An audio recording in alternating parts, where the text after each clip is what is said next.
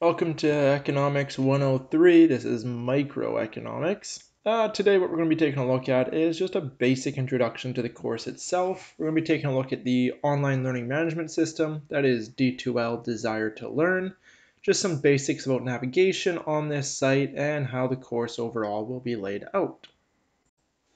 Okay, so here we have D2L's main login site. Again, how we would access this would just be online.camosun.ca that one right there.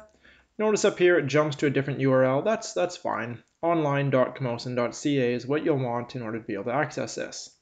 To log in, you just have your C number and your password. Once those are put into place, you log in to D2L. On here, once it loads, you'll have a listing of all your courses down the left-hand side. For myself, there's the two sections I'm currently dealing with. Business Statistics, Biz 230, and Econ 103, Microeconomics. You select your corresponding relevant course. For purposes here, I'm using the Econ 103 Microeconomics splash page, but even if you are in Business Statistics, the layout is identical. The only difference is that you'll notice is it'll say, hey, welcome to Biz 1, uh, Biz 230. Wow, forgot the number there. Welcome to the Business 230 business statistics. Same thing up here, same thing up here. Otherwise, everything will be nearly identical. The hyperlinks will just lead you to a bit of a different area. Uh, what we're going to be taking a look at is these toolboxes, these toolbar along the top and all the different tool drop-downs, as well as this main splash page. To start off, the main one that we're going to look at, well, you open up Course Home. This is where we currently are. The one that you're going to be going to every day, or at least once a week, is going to be this checklist tool. This is going to be your primary place to check in. So as we go to the checklist, so okay, we go here, we go to checklist. Right now we have a checklist for week one. So this here is going to be what the expectations are for the week, what needs to be completed by you. So as we go through it, week one, read the syllabus. Well, where do I find the syllabus? Ah, no needs to worry about that. I'll show you where you can find it later, but everything is hyperlinked right here in the checklist. So ultimately, this is the one and only place, if this is the only place you went through to throughout the semester, you'd be fine. So first one, read the syllabus. Let's presume you've done that. Second one, watch the intro video. Well, again, intro video hyperlinked there. You're watching it right now? Great, you've done that part there. Carrying on, what else do we have for this first week? Post an introduction to the discussion board. Well, you can access that through right here. I'll show you how you can get through it through the discussion toolbar as well. But discussion board, we'll come back and talk about that guy. Next thing we're going to do, read chapters 1 and 2 from the textbook. So we'll talk about what that means, what the textbook is, and other resources available. But another resource for us. Watch the video playlist. Okay, video playlist, that's not this one. This is the video lectures overseeing chapters 1 and 2. Again, same source, but hyperlink to find that. Once you've completed that, you've gone through the material for the week. Well, there's quiz 1. Quiz 1 hyperlinked here. And the first quiz, again, graded. Ooh, graded. These are grade items. You'll want to spend specific attention looking at this make sure that you're actually getting done the stuff that matters for you and your final grade. So that's our checklist. That's the basic of what we should look at each week.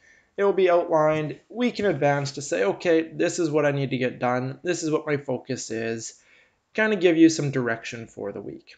I'm just going to hit cancel rather than save just so that it doesn't overwrite, but save and your checklist is complete. So that's our checklist toolbar. While the checklist is your main one-stop shop, discussions is the next one we're going to take a look at. Again, keep in mind everything will be linked through the checklist form. Underneath discussions, we have two categories. First is going to be just general questions, like sort of a what will become a running frequently asked questions or FAQ form. In this case here, you can just post general questions you may have about D2L, content, the course, etc and it serves that either myself or another student could answer and provide kind of a running a running common questions that we get to throughout the semester. Uh, how do we use the forms? Well, let's go in and take a look here. You open up, click the hyperlink. We'll go to start a new thread. And then once we have this, it's just entering these information. So we could um, post, I have a question for our topic, and then what your question is. There we go. So we post our question. Uh, if we wanted to take a look at updates for when people respond to it, we can hit this subscribe button and it will send us updates every time somebody responds to our question. And or it checks to do that automatically. To finish, we would just hit post. It would show up in that frequently asked questions uh, thread and we could view it from there. Replying to threads, very similar. You'd open up the person's thread who has posted the question and hit the reply button. I'm just going to hit cancel to prevent posting that and head back to the main discussion list. Okay, so that's the main generic questions, frequently asked questions. If we keep scrolling down, and as we add more and more, you're going to have to keep scrolling down farther and farther, we have our first graded discussion board. And again, this was linked to directly from checklists. This is the same one from the checklists. And this is just our introduction. Being an online course, it's a bit cold, it's a bit distant. It's uh, nice to put a little bit of a human element into this. So, just a quick introduction who you are, what you're doing, why you're here, anything else fun that you might want to share with the group. This will be available for everyone to see, but uh, first graded aspect of the course, first bit of grade you can take. So that's our discussion board. As we carry on, new discussion will be added each week. The idea behind it one question from the content that we've covered. Expectation is that you work through, you post your answer to the question, and then you respond to a peer. So they don't need to be long winded responses, they don't need to be extravagant. It can simply be, hey, awesome, we got the same answer. Way to go. Or, oh, we got different answers. I think you are right because XYZ, or I think I am right because XYZ. So just very limited, doesn't need to be in depth, but weekly questions that will be posted, and the expectations that you respond and you respond to a peer. That's our discussion board. Next one, carrying on along the top, is our quizzes. Ultimately, there's going to be 12 of these quizzes plus our midterm and final, so I guess you could say 15 all said and done. Right now, we have two posted. This would be week one, week two. These quizzes, you have three attempts to complete them, and your best out of three is scored. With the exception of the midterm and the final, so out of the 12 weekly quizzes, I score your best 10 out of the 12. So if you have a bad week, you weren't able to get to one of the weekly quizzes, or you just didn't do very well on it, don't worry, your two lowest quiz scores are dropped altogether. As we go and we open them up, quiz one fundamentals, let's just take a look at this guy here we have, very importantly, the description and directions. Make sure you read this. This isn't just here for fun, this is important information for you with the quiz. Big things here best of three attempts, no time limit, only one question per page. You cannot move back through the test. So ultimately, these quizzes pull from a very large test bank. Then, once they pull from that large test bank, every question is randomized into a different order and then you can only view one question at a time. Once you answer the question, the answer is saved. You cannot go back and update. Ultimately, this here is all just to ensure academic honesty, that there is no collaboration between many students as we go through this. Unfortunately, as we've gone through the last bit of the spring semester of 2020, through the summer, now into the fall, we have seen an unfortunate a very unfortunate explosion in cases of academic dishonesty and the resulting handing out of zeros and failing of courses as a result. So, certain steps being taken on our side, of course, many steps being expected on your side as well. Final bit on the directions. Make sure you read how the answer is to be reported. If it's a numerical answer that required you to do some calculations, typically I ask for two decimal points. Now, doesn't mean that always the answer needs two decimal points. The answer might be 35. If the answer is 35, but I ask for two decimal points, D2L is not that smart. It just says, hey, we need two decimal points, so you need to record 3500. That is a difference between the question being right or wrong, so really make sure you take a look at that and you follow appropriately. Learning objectives. Uh, here for each one, we'll have the learning objectives, what the expectation is for the quiz, what are the big ideas I expected you to get out of this chapter or out of this content. So big thing to take a look at here. Make sure that, hey, you know, can do that and the quiz will just reinforce that bit there. Um, let's take a look at the quiz once we start it. Doesn't look like I can start it from the student view, so let's just go back. Same directions, all of that, and we can go start the quiz. Once we start the quiz, we see, okay, we have all of our 10 questions, 10 pages, and we have our question that we are to consider. We have all of our information and then the question itself. Here we go, calculate how many sticks of butter this country could produce if they shifted all their production to butter. Record your positive answer to two decimal places right? So just like we said in the instructions, this needs to be recorded to two decimal places, even if it's a whole number. From here, you have two options. You have the big blue button that draws your eye, Submit Quiz. If you do this, you've only done one question. The best you could do is 10%. So it will warn you, confirmation, do you want to submit your quiz? No. What you want to do is you want to go to the next page, right? We have 10 pages, 10 questions. Next page, it'll still give you a warning, right? But what does this warning say? It says, okay, if you move on to the next page, you cannot come back. So are you sure you're happy with your answer is pretty much what it's saying. So let's say yes, we're good to move on to the next question. We get another question. Oh, this one looks very similar. Again, they're being pulled from a large test bank. Sometimes we get similar questions back to back. Same thing here. Question, calculate the opportunity cost of producing an additional stick of butter positive to two decimal places. So again, record our answer. I'm just making up these answers. I have no idea. I didn't even read the question really. Next page, yes. Once you get through the whole bit, you will submit the quiz. Yes, you're sure you want to submit the quiz. And says, okay, you're about to do it. Are you sure you want to? Yes, I'm sure I want to. And it gives you your score. Uh, looks like I did not do very well. Okay, so that's how we submit quizzes. That's how we work through that. And that is our quiz tool. Doesn't look like I'm doing very well on this. Next one along the top is our assignments. If we jump over here, we're not going to need to use this until closer till our midterm and final dates. These are the due dates that we currently have set for midterm 1, midterm 2, and the final. Part of our final is a take-home portion to be completed and submitted as a PDF document. That is important. It will only accept one PDF document. We'll go through how to make sure, how to upload, how to save as PDF and all that as we get closer to the date. But keep these dates in mind. These are the midterms and final dates. They can also be found in the syllabus as I've recommended you read.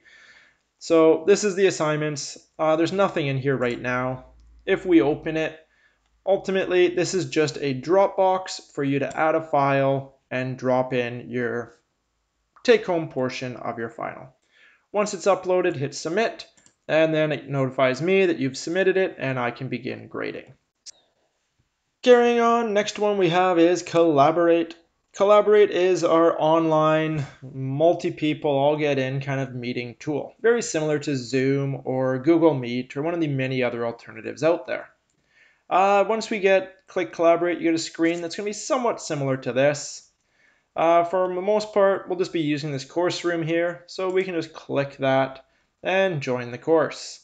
Uh, if you need to dial in by phone instead of using your computer, you can use this uh, anonymous dial-in. If we join the course room though, it shows up with your name and all that bit of information.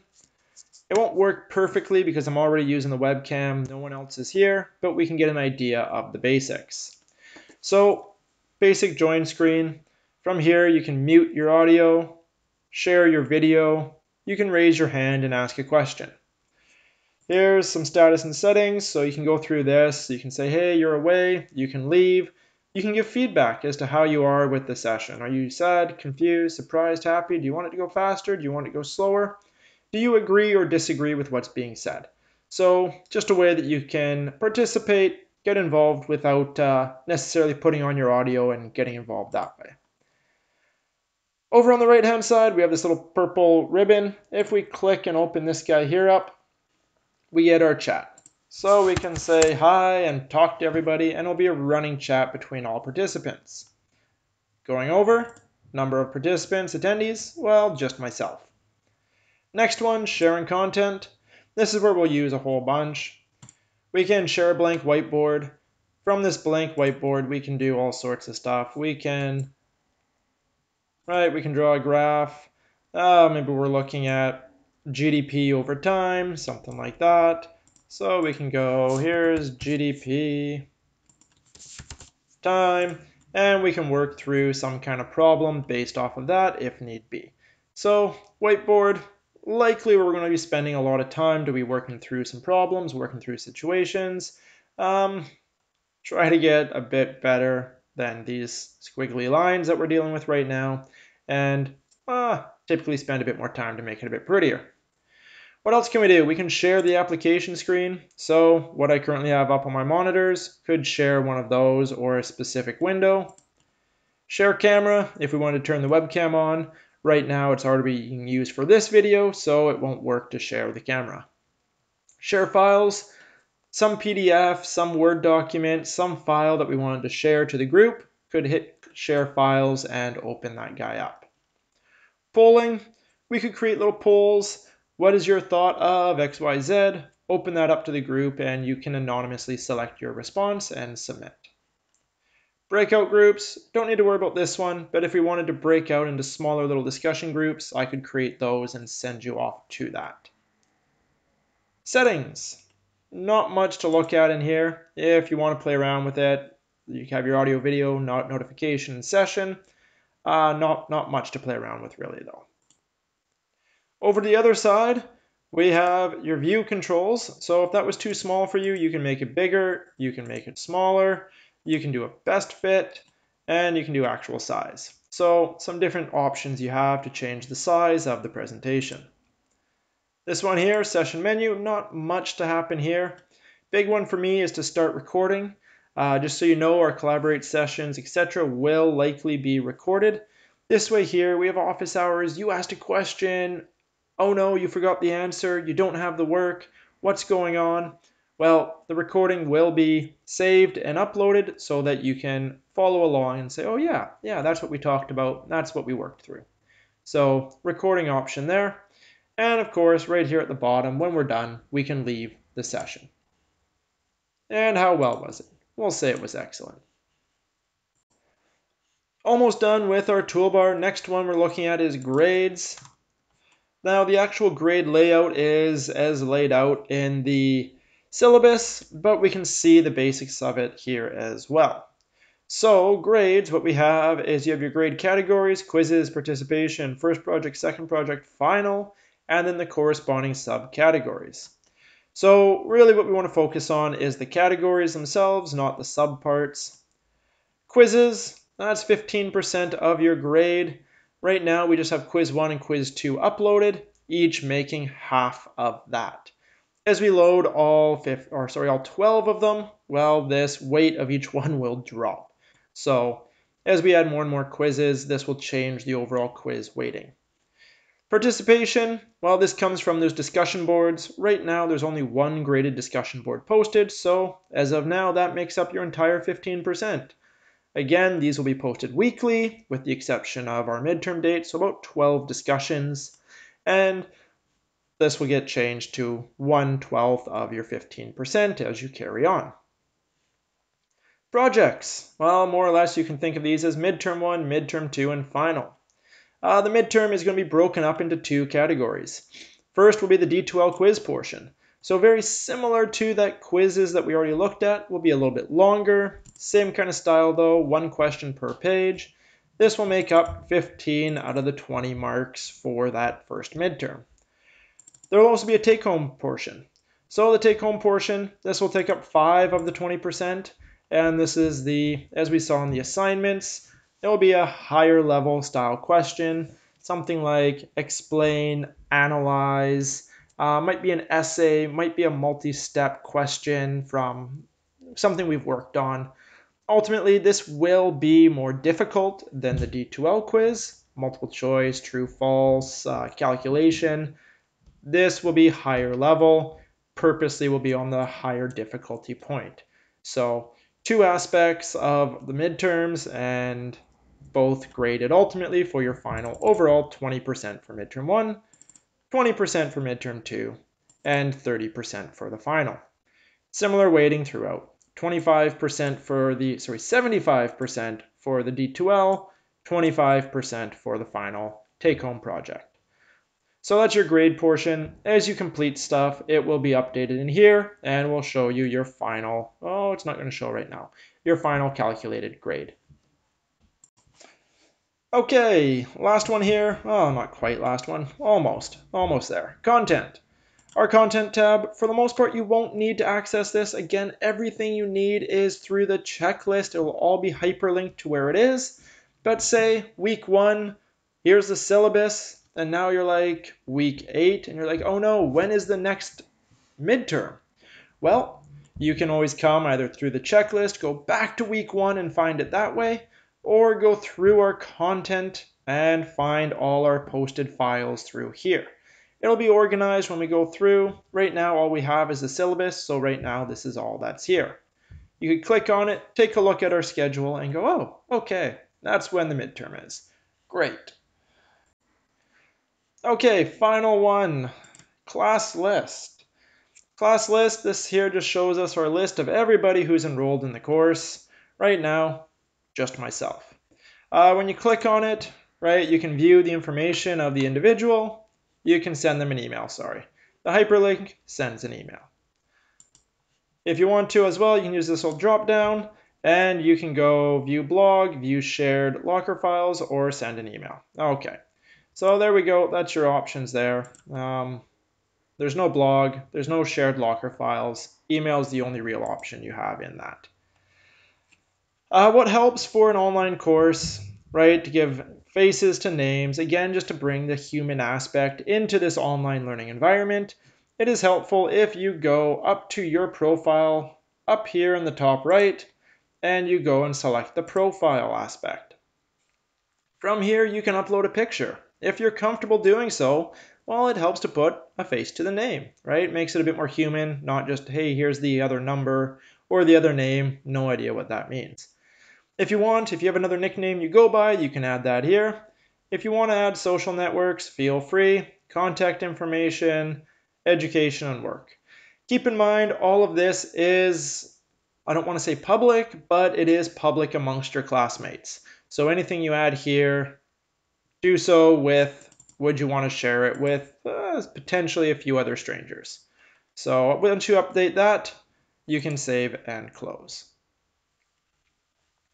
That does the class list aspect. That does how to access your profile. Again, if you're comfortable, upload a picture, upload some information about you.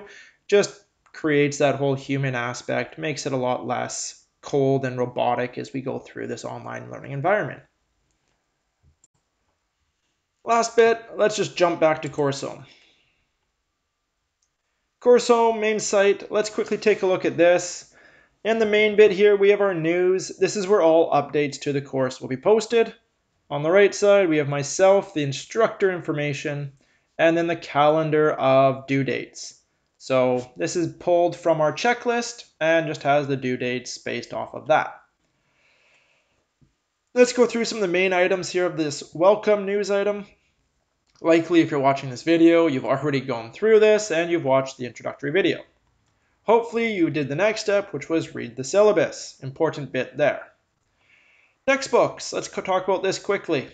Uh, right now we are using the Mankiw textbook. It is our recommended textbook. It's the one that I'm teaching from how the course is organized by. It's available as an ebook. You can also order it through Amazon or our bookstore, etc. But it's not required. I'm not going to be having you do specific questions, read specific pages out of this book. Instead, there's many other free resources available, such as Khan Academy or OpenStax. Uh, let's take a look at OpenStax. It is an open, uh, free textbook online platform. Feel free to use this if you want. It has everything that we're going to be covering. The only difference is it's not in the same order. So you, you save the money, you're going to have to spend a little bit more time in finding the relevant material. For example, as we get through pretty quickly here, chapter 3 we'll be taking a look at trade. In this textbook here, though, chapter 3 is demand and supply. Oh no, what are we doing? Well, what you're going to have to do is if you want to go and look at and use this textbook, you're going to have to go and skim through production, perfect competition, and find the one that best lines up with trade. Here we go, chapter 19, international trade.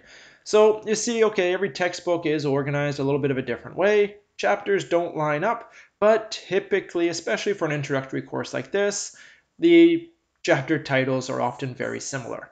So instead of chapter 3 trade, we'd be going to chapter 19 trade. All the same content, just in a bit of a different order.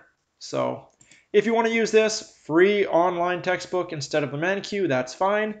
But keep in mind, I will be referring to the chapter numbers based off of Mankiw. You will have to do some digging to find out what it is on the OpenStax side.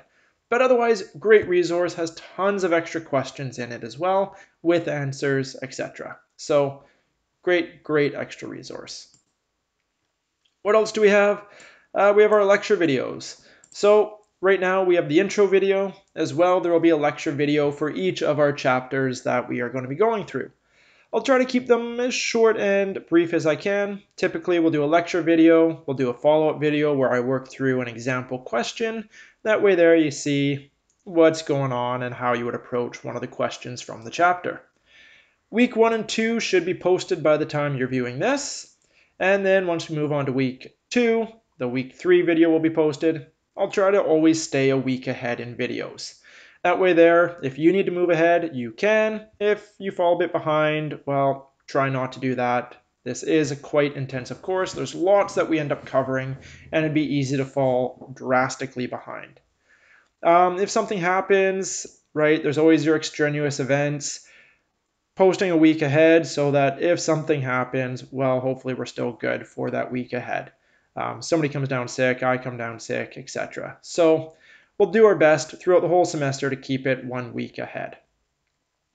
Office hours, those will be held through Collaborate. Um, great place. You can drop in, you can say hi, ask questions, re go through material that wasn't necessarily clear. This is a great resource. We'll have it for an hour each time on Thursdays at 1.30. But what this is not, this is not the situation for me to go and do the lectures through these office hours. If you come to the office hours and you're like, hey, Keith, I don't understand elasticity at all. And I'm like, okay, what have you looked at? And you haven't done any of the readings, you haven't looked at any of the posted videos, you haven't attempted any of the quizzes, anything like that, you're just like, I don't get it, teach it to me, I'm going to say sorry. Go take a look, come back next week, we'll go through it then. If you've read through the stuff, you have taken a look at the videos, you've tried some questions, and you're stuck at one concept, you're stuck at a few concepts, well, okay. We could take the full hour then. You've done the work, you've put in the effort. I am willing to more than double or triple that effort to make sure you understand, to make sure you get through the course. So, office hours, great resource for that. Big thing is that there's the expectation that you've put in the effort first. You're not just coming to this as a teach me because I couldn't be bothered. So, office hours once a week. We can hold them more frequently if there's the will, but at least once a week as posted. Quizzes and midterms, we've already discussed these, we've already taken a look at this, so you can follow and read through as need be. Discussion boards, same idea, we've already looked at that. And then our final notes. So we'll finish off with this. We're online, it's less than ideal for many of us. Uh, keep in mind that I know that, you know that, we'll get through this. Right? It's not ideal, maybe this isn't how you wanted to take Econ 103. Don't worry, we'll get through this doesn't mean that I'm willing just to bend over and get everybody passing just because. But if you put in the work, if you're putting in the effort, I will meet, I will match, I will exceed that effort to help you get through this course. If you're not putting in the effort, if you're not putting in the work, don't expect me to be putting in a bunch to get you to where you need to be. What does that mean? Well, what that means is if we come up to the first midterm here, second midterm, final, whatever it might be, and it's a few days before and you email me, Keith, I have no idea what I'm doing, help. And I go and take a look and you haven't been accessing resources, you have not been accessing D2L, you have not been putting in the effort on your side. I'm going to say sorry. I'm going to say sorry, there's not the time right now, this is not the time or place to get the help for this.